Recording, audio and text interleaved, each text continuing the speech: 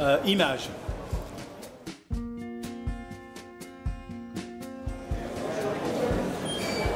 Histoire. Ça, c'est avec mon père, euh, avec Clint Eastwood. Ouais. Et je crois, je sais pas lequel. est- Maybe euh, peut-être Once Upon a Time in the West. So, peut-être celui-là. Ok.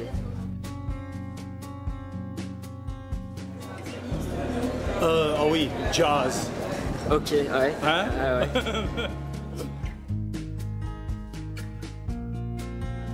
Allez, tout le monde va être content que je vais dire ça. Les bronzés. J'adore ces gars. Ah ouais, ouais.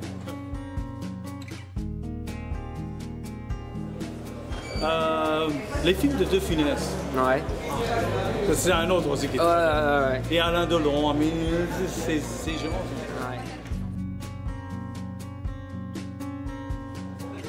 ça c'est compliqué. Ah, attendez, ça il faut me laisser réfléchir. Euh... Peut-être des films de cul. hein. Ouais, tout simplement, effectivement.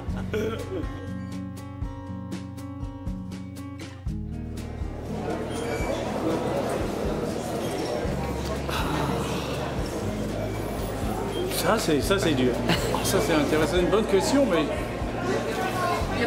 qu'est-ce que je pourrais dire hein? Un Classique que j'aime pas. Je suis sûr il y en a un. Ah ouais, on a tous un, ouais, On a tous un un, classique euh, qu'on supporte regarder, pas. hein. hein, chier, ça. Ah ouais, Euh, je sais pas. je savais pas. Non. Luc Besson. Luc Besson. Peut-être euh, Moby Dick. D'accord. Euh, j'ai fait deux films.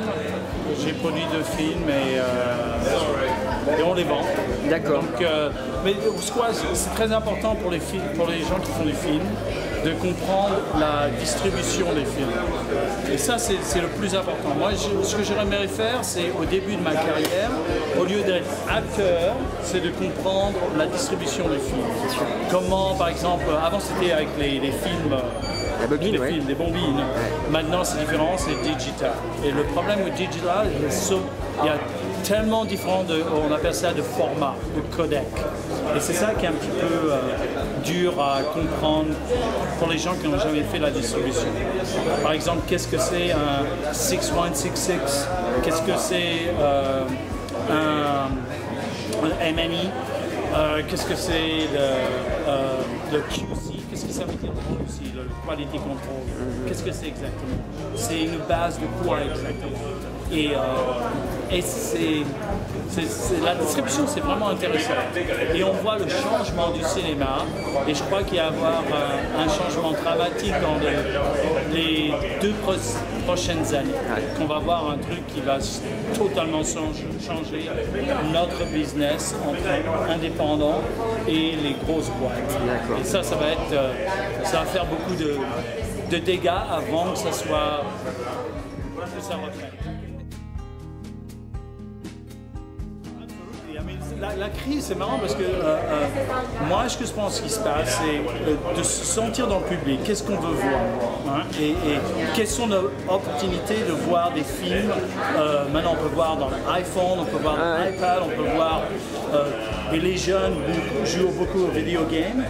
Dans les années. euh, quand je suis né, il y avait juste trois chaînes. Donc, Ouais, moi aussi, ouais. c'est tout. Fini. Ouais.